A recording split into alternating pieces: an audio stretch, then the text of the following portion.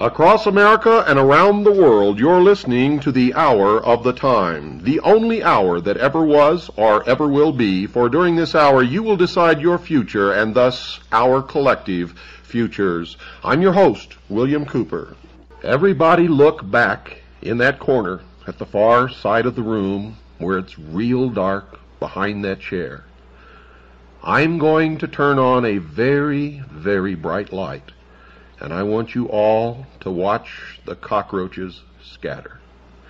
For tonight, I'm going to read verbatim to you from a book that we found in a dusty shelf far back in the rear of a used bookstore that proves beyond any shadow of a doubt that what I've been revealing to you in the segment, the many segments of the series entitled The Mystery Schools on this program, The Hour of the Time, has been not only true, but right on target, and the first time that this information has ever been exposed in its entirety to the people of the world.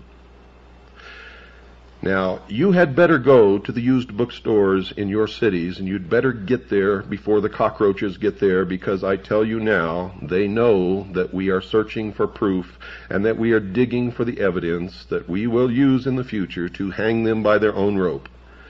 You need to get there first and buy any and every book that is concerned with any and every secret society, mystery, religion, or cult that you can find. If you don't understand them, and if you don't want to use them to help us expose these people, then send those books to us, because we will put them to the best use. I'm holding in my hand an old, faded, what used to be red hardbacked covered book. It's almost orange now because it's faded with age, entitled Fundamental Laws, 68th Convocation. On the front of the cover is some of the symbology of the mystery schools. There is a rope representing the snake eating its own tail, also known as the magic circle. Within this magic circle, there is a triangle, actually three triangles, one within the other. Within the triangles, there's the symbol of the skull and bones. There's the symbol of wings around the world. There's the symbol of the ark, the anchor, and the three letters T-R-Y beneath the three triangles. This is the verbatim written report published in 1916, ladies and gentlemen, that I'm going to read to you from. Fundamental Laws, a report of the 68th Convocation of the Rose Cross Order, giving a resume of the proceedings of the convocation, together with most of the lectures that were delivered during this time of the convocation by the several delegates present. Also a report of the work of ancient initiation in the grove of Osiris as especially prepared for the occasion. Below that is the symbol of a triangle with three stone steps representing the three degrees of initiation. Up on the top step is a cross, in the center of which is a rose. And beneath the triangle, again the three letters T-R-Y. This is copyrighted 1916, published by the Philosophical Publishing Company, Allentown, Pennsylvania, for the members of the Rose Cross Order. On the next page is a roll of honor. One of the names here stands out and almost knocked me over when I saw it, for the name is Lars Hansen. Now, it is not the Lars Hansen that we've discussed on this show, and we're going to look into it to find out if this was his father, our grandfather, our great-grandfather, could have been either one of the three. But we will find out, believe me. We know that Lars Hansen's parents were members of the mystery school, and in particular, the Metternich Stell group, where Lars Hansen was reared. An explanation of the contents of this book, and I'm reading verbatim from the introduction in explanation, in explanation of the contents of this book, it is to be stated that these articles do not give the inner work of the Rose Cross Order, but simply the outer, the public teachings. Now you'll remember in the mystery school series, I taught you about the exoteric and the esoteric. What you're going to get in this book, because they never publish the esoteric anywhere, it's always hidden in symbology, but there are incredible admissions in this book that you will hear in the exoteric. Reading again, verbatim. The Illuminati and its soul science work may be called the child of the Rose Cross Order. Years ago it was found that where there was one person who desired to follow the work with heart and soul, in other words, who was willing to live the life as taught by the order, there were an hundred others who desired teachings from the order, but who were not willing to dedicate their lives to the sublime work. Now I break from this for a moment to remind you that I have previously stated that the fraternity of Freemasons, the ancient order of the Rose and Cross, the sovereign and military order of the Knights of Malta, the Knights Templars, the Mormon Church, all of these, the Illuminati, the Order, the Skull and Bones, are all the same organization. And what you have just heard is the first admission of that fact. And you are going to hear more as I progress. And remember, I'm reading this right out of their own publication, a hard-bound book published by the Philosophical Society in Allentown, Pennsylvania, specifically for the Rose Cross Order. Continuing. These thousands had to be taken care of, and as a result, the Illuminati and its soul science work was born. When in April, now that's April of 1916, folks, April of 1916, remember that. When in April the order went forth to the brethren that a sacred convocation was to be held, all delegates were requested to prepare articles on soul science so that regular lecture sessions could be held. The lectures that follow are the result. All these lectures were given in open session and are to be considered as soul science work, though in entire harmony with the teachings of the Rose Cross Order. The work of the Rose Cross Order as given to its students can never be published. It is a secret, sacred work between teacher and student. Let me read that again for you. It is a secret, sacred work between teacher and student. It is a soul training, an inner initiation, and such work continues until the student has reached initiation, after which he is called upon to attend a convocation, and at which time the degree work is conferred upon him. But the inner work always precedes the outer work, as the outer work is only a bond binding together the brotherhood. Thus a word in explanation. Many having heard of the great order and its work, and actually knowing nothing of its inner work, have ignorantly or with fraudulent intent established so-called Rose Cross bodies. And these bodies, knowing nothing of the true work of the Rose Cross, have nothing but a ritualistic initiatory rite or degree work. We would refer all seekers to authorities on the Rose Cross and on initiation, and they will then find that the true Rose Cross is actually a school of spirituality with a degree ceremonial initiation as the climax. And this is signed by the Hierophant of the Order. In the preface, early in the summer, instructions were received from the hierarchies to call the inner circle of the Rose Cross Order into session, and thus to fitly celebrate the 68th year of the Rose Cross Order in America. Orders were immediately issued to those who have the privilege of attending this convocation, and on June the 1st, 1916, the convocation was called to order and the preliminary lectures were started. At this convocation, all delegates were instructed to prepare and to deliver articles which should have a bearing on the conditions of the present day and which should be the means of helping humanity. However, because of the limited amount of time at the disposal of those who could attend, only a few were enabled to prepare such lectures with the results that there were not as many lectures delivered as might have been had the delegates had more time at their disposal. But even so, There were from two to three lectures each day, and most of these lectures will be found in this present volume, though many of the lectures cannot be given in book form, as they were only delivered as from teacher to those of the inner circle. From the beginning of the month until the day of the 13th, there were lectures in the Assembly Hall, which had been built in 1910 for the express purpose of holding these yearly convocations. But on the 13th, there were no lectures, as all of the day was required for making the preparations necessary in order that the ancient mysteries might be given to the delegates in a form of symbolism consisting of three degrees. I can do no better than to give the article prepared by Grace K. Morey of Buffalo, New York, the secretary of the Rose Cross Sacred College for the Buffalo, New York papers and which appeared in the Buffalo Express July 16, 1916. This is entitled Ancient Mysteries of Egypt Given in an Initiation of Three Degrees. Play close attention folks, for what you're going to hear now confirms much of what I have been revealing to you in the series on the hour of the time known as the Mystery Schools.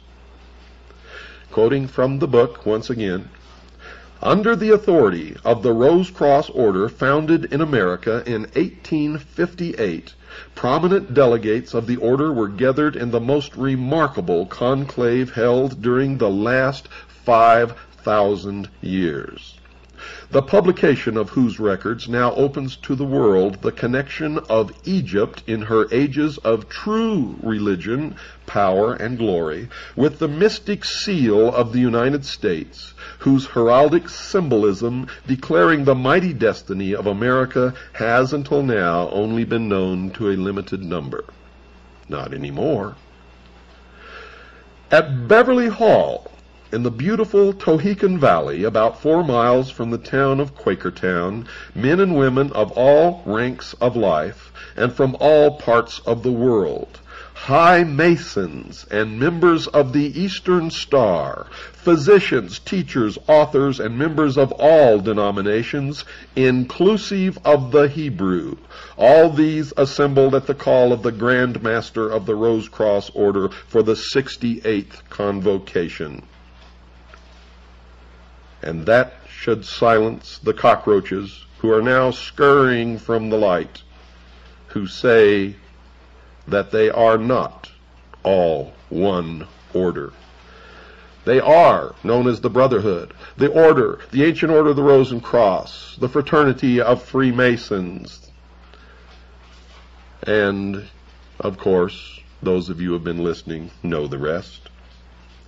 Reading again from the book some years ago, R. Swinburne Clymer, author of The Philosophy of Fire, Ancient Mystic Oriental Masonry, The Rosicrucians, Their Teachings, Mysteries of Osiris, Soul Science and Immortality, and over 30 other works, bought a mountainous tract of land, and on this was built, quote, Beverly Hall, unquote an assembly hall, press rooms and libraries and chemical laboratory, which surrounded by orchards, vineyards, and rose gardens, set in terraced lawns, presents with its collie kennels and poultry plants a splendid combination of the beautiful and the practical. To this has been added the mystic, for in a secluded and wooded tract of fifty acres of this land, an artificial lake was made from a mountain stream, a throne room erected, and other improvements made which would be needed for the initiation of neophytes in the Egyptian mysteries. The convocation was called to order on June 1st in the Assembly Hall, built over five years ago for that purpose, and the delivery of a series of lectures upon practical as well as mystical subjects began and continued until the close of the convocation. The delegates and teachers presented the lectures, which were followed by discussions upon the subjects of eugenics, scientific motherhood, code of ethics for the schools and home, spiritual Christianity, that's a joke. Personal hygiene, diet and health, sin, authority and individuality, Jacob's ladder, initiation, reincarnation, soul development, the second coming of the Christ, and the mystic significance of the seal of the United States. In the time of Solomon, as in the time of the Egyptian priesthood, no ceremony was ever held unless the circle of Solomon, commonly called the sacred seal of Solomon, had been previously prepared. But since the fall of Egypt and of the Temple of Solomon, this seal has been practically unknown, except to a limited number of students of ancient religions and mysteries. Folks, the seal of Solomon is not the six-pointed star which is on the flag of Israel. It is not the seal of David or the star of David. It is not the seal of Solomon, as you will soon discover.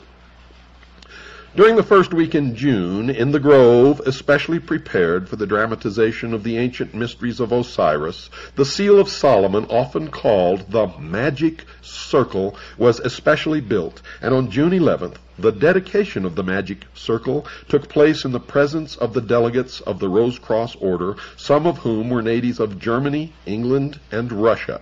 This was in accordance with the system as practiced by the ancient priests of Egypt and the Sanhedrin of the Temple of Solomon.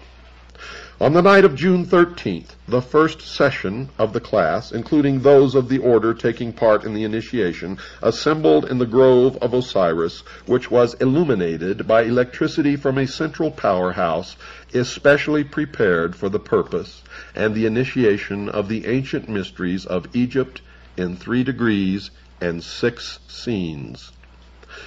All students of the ancient mysteries and religions know that in the Temple of Solomon there were three courts. The outer court for the people being composed of 700 selected teachers and leaders. These were members of the first degree, Illuminati called also seekers, travelers, or soldiers, the middle court, or members of the second degree, were seventy in number, and were supposed to be in the hall of meditation, and acted as mediators between the people and the inner sanctuary. Above all was the inner court, or circle of the seven priests, and the master or high priest, who were the teachers between God and man, mediators between the seen and the unseen.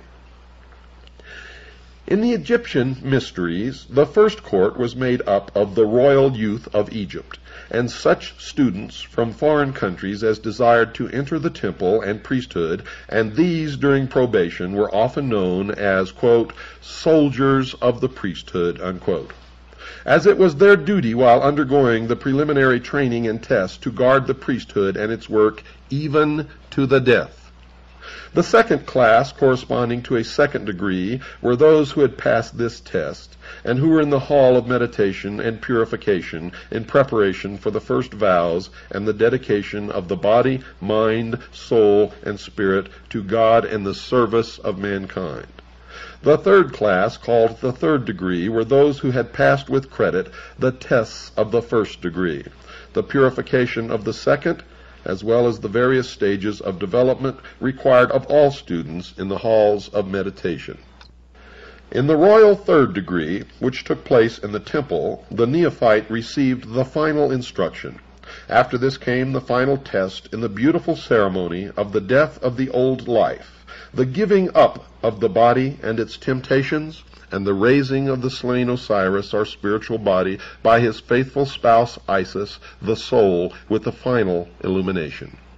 On the 15th of June, the first section of the representatives left Beverly Hall for their respective homes, and the second section began to arrive for the preparatory lectures, and on the 19th of June, the ceremonies were repeated so that all might witness the initiation and take part in it so as to become members.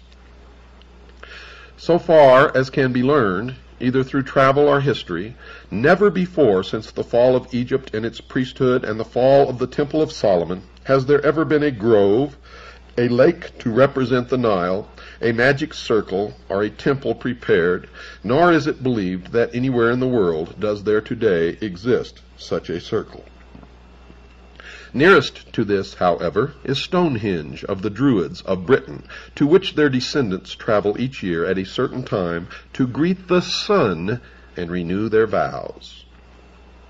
This is the first time, therefore, in five thousand years that any order has attempted to build up this sacred emblem under the stately oak so that people of modern civilization might witness the beauties of the life and religion of the ancient people whose teachings of individual soul development made the glory of Egypt, the lost dreams of all Israel, the teachings of the Magi of Persia, all that was true in India, the splendid philosophy of Greece, the magnificence of the early Romans, the basis of pre-Christian Ireland's great schools, as well as the familiar Holy Grail legends of Britain, Celt, and Gaul. In this light of brotherhood of man and fatherhood of God was founded this great republic foretold by Virgil, upon whose seal is set the Egyptian pyramid, completed by the white stone of spiritual purification as the crown of the ages. It's time for our break, folks. Don't go away, for I'll be right back after this very short pause. In the winter, far beneath the snow, lies a seed that with the sun's love becomes the rose. Only those of you who have listened to the full series of broadcasts on the hour of the time of the mystery schools will understand exactly what that means. And you will know and have a entirely different understanding of that song, which is beautiful, to say the least, but does not convey the message that many of you have always thought you heard. You see, the mystery schools speak to each other in symbology, in a symbolic language that they have learned to use over the millennia to hide their real secrets, their real intent, their real work, which has always been from the beginning to reestablish on this earth an ancient government ruled by a council of wise men, a benevolent despotism, a one world totalitarian socialist government. Don't ever forget that, folks. If you love being free, the New World Order utopia is not for you and it certainly is not for me. Continuing now from the book entitled Fundamental Laws, the publication of a report of the 68th Convocation of the Rose Cross Order, during which they admit the existence of the Illuminati, they admit the existence of the Order, they admit the existence of the Brotherhood, they admit that all of these secret organizations, including Freemasonry, are all the same organization, all working toward the same goal. An incredible admission printed in their own publication. A hardbound book found up on a dusty shelf way back in the rear corner of an old used bookstore. Quoting again from the book, the American constellation of 13 stars, set in the form of a double triangle, was foretold by Merlin of King Arthur's court, and the philosophy of the Holy Grail and of Egypt's glory and Solomon's temple has been the day star of every great American statesman from Washington to Abraham Lincoln. Now, if you've been listening to this program, you know the day star is a reference to Lucifer, the light bringer, the angel of light, the morning star, also known as the son of the morning. After the ceremonies in the grove, there was given in the dining room of Beverly Hall at midnight a feast of the gods, at which neither meat nor spices formed part of the menu, but only fruits, nuts, and other products of sun-kissed foods. And that should tell you something about sun-kissed oranges. The conclusion of the rites was held at sunrise in the grove with a musical communion service, at which nectar of roses distilled from the thirty thousand roses blooming each June upon the lawns at Beverly Hall was served as emblematic of the wine of the soul, and for this service the rose bushes were planted several years ago. This is also from the book, folks. I wish that all the readers of this book might have been present at the preparation, at the building, and at the dedication of this ancient magic circle. Or I wish that I might be able to give a detailed description of these sublime ceremonies in this book. However, I cannot do this here, though I hope that in some future work I will be able to do so. Sufficient be it to say that when the stone, made out of cement by one of the brothers, was nearly finished, the dedication took place, and the emblems placed in the stone itself before it was completed were the American beauty rose in full bloom. This as a representation or symbol of the soul that has reached full illumination. The mystic ring. This was a solid gold ring belonging to one of the members present, upon which had been engraved the cross and the pentagram. All members of the Magi will know what this symbol stands for. The ring itself, as is known to the Magi, is a protecting agent against all evil or malignant influences when worn during any ceremonial or developing work. And the true magic mirror this is an emblem of the soul, which when fully developed will act as a mirror to the universe, wherein may be wisdom and truth.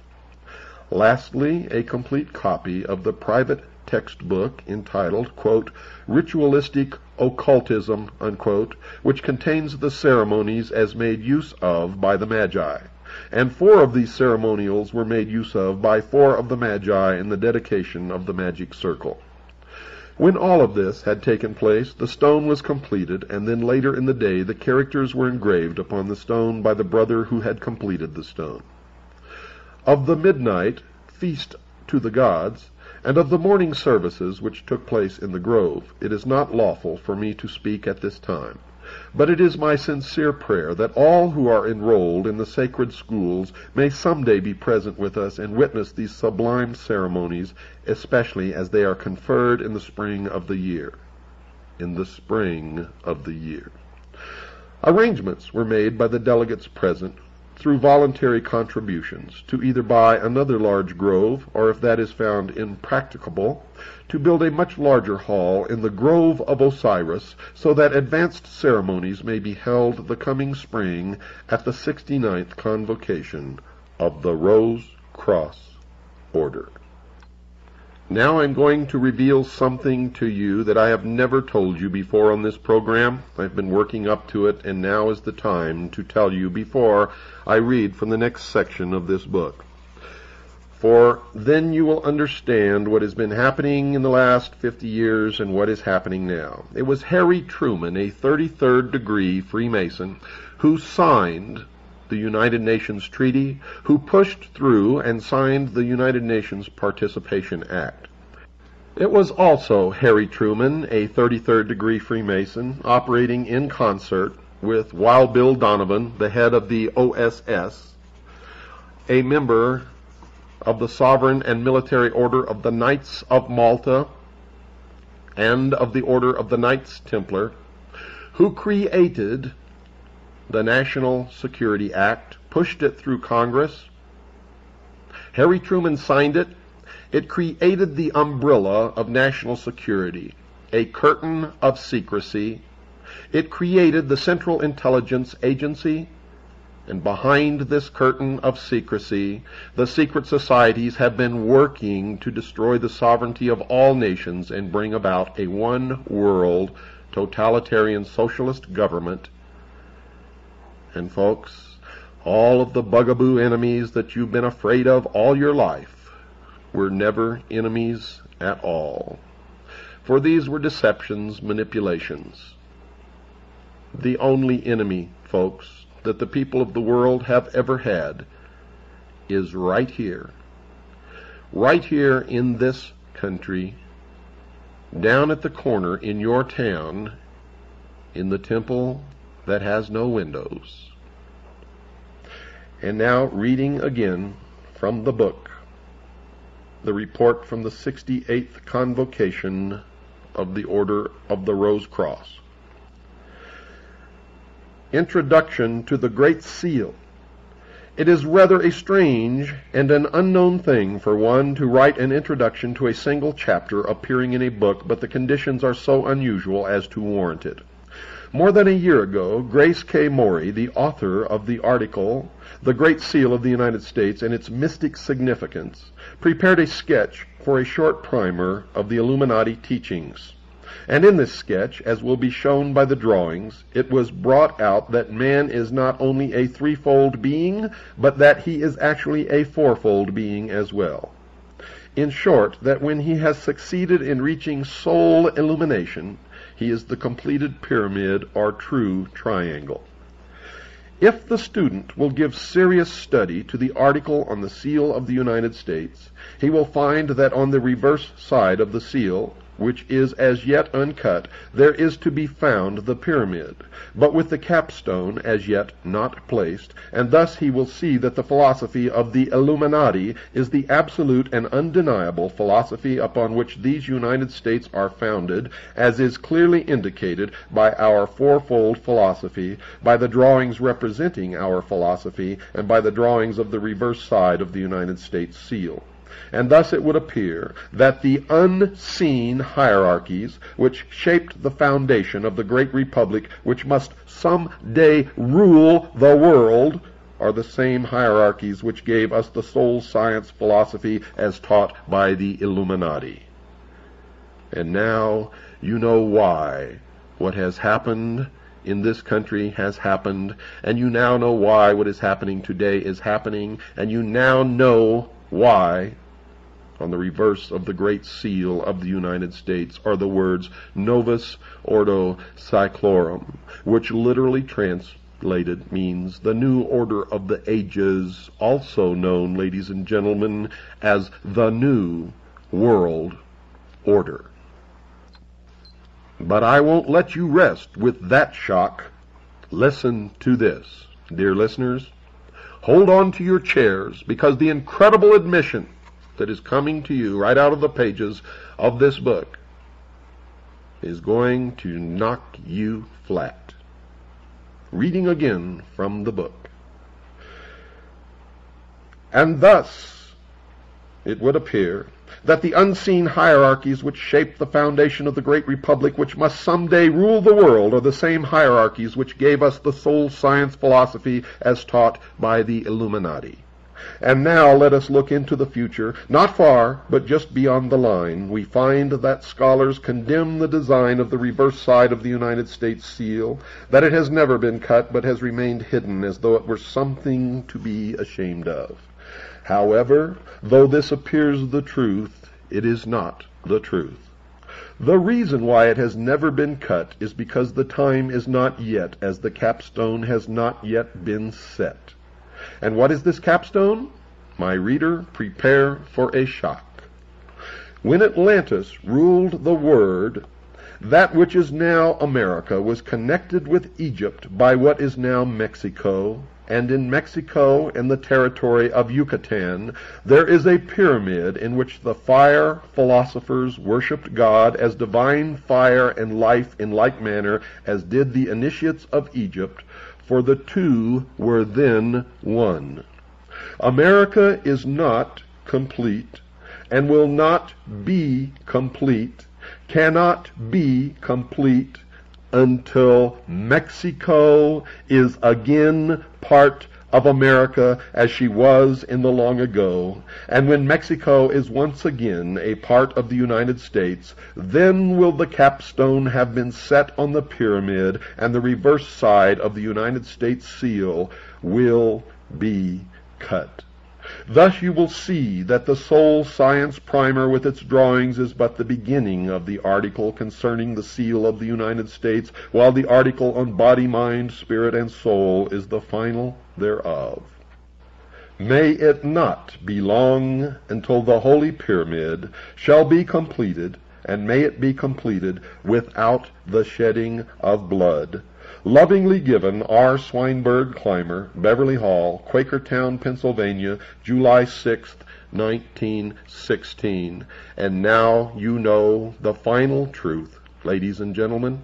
Now you know the purpose of the free trade agreements. Now you know the purpose of GATT and NAFTA. Now you know where we're headed. Now you know that the middle class in this country is doomed. Now you know that the New World Order is being brought about by the intelligence community and the secret societies whose headquarters are in the United States of America, just 13 blocks from the White House. Now you know in the incredible admissions in their own writing in this book published by the Ancient Order of the Rose and Cross. Now you know that the Illuminati is real, that Freemasonry is a part of the Illuminati, that the Rose and Cross is a part of the Illuminati, that they are also called the Order, the Brotherhood, that they also consist of the Knights Templars, they also consist of the Knights of Malta and all of the other secret societies whose organizational structure is in the shape of a pyramid with a few at the top who really know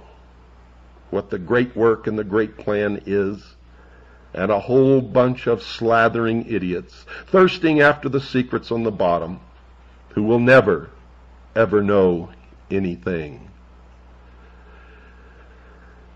Are the cockroaches scattering? If this broadcast doesn't do it, nothing will.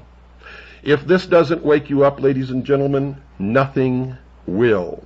If you don't understand now the 18 hours of the series that I've aired on the mystery schools, you will never understand it now or in the future. If you don't know where we're headed now, then you never will. If you are not concerned now, then you have already placed the chains upon your ankles and you have already watched freedom fly. If this broadcast does not do it, nothing will. This is the last voice of freedom. This is the only revelatory media source in the world today. The hour of the time is the only outlet for truth left upon this earth. Ladies and gentlemen, what you have heard tonight is the final parting of the curtain. It is the opening of the last door that was to be opened. It is the final understanding of where we have been, where we are at, and where we are going. It is the light. It is the illumination in the darkest corners, you are looking at the forbidden fruit. You have heard tonight what you were never to hear, what has been forbidden for thousands of years. You now know what the great work is. You now know who is bringing it about. You too can find this book if you search hard enough and the incredible admissions that are contained within it will give you the ammunition and the armor to march out here on the battlefield with me and many others who are trying to stop what is coming. Remember what Mr. Swinburne said at the end of his article, and I'll read that to you again. May it not be long until the Holy Pyramid shall be completed, and may it be completed without the shedding of blood. Lovingly given, R. Swinburne Clymer, Beverly Hall, Quakertown, Pennsylvania, July 6th, 1916. And I am telling you now, their goal is to destroy all other religions save theirs, destroy all existing nation states save theirs, and shackle the mob, and that is you. Good night, dear listeners, and God bless you all.